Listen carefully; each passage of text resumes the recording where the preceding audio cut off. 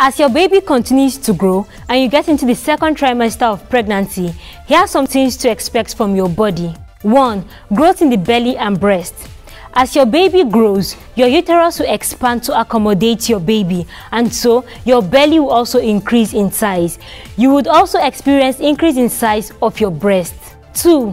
Dizziness. Pregnancy causes changes in circulation of blood that may make you feel dizzy from time to time. So, take enough water and avoid standing for too long. 3. Skin changes. Due to hormonal changes during pregnancy, you may notice brown patches on your face, stretch marks, and even dark lines in your abdomen.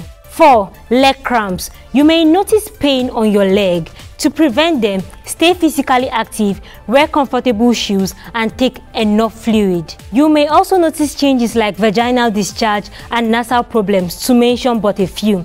Speak to your healthcare provider about the changes you notice and their intensity. AskNivi has a free pregnancy guide to guide you through this process. So click the link in our bio or description to sign up for the free pregnancy guide now. And if you are yet to get a good antenatal care provider, then click the link in our bio to get recommendations on one of the best antenatal care providers next to you that will work for you. Thank you.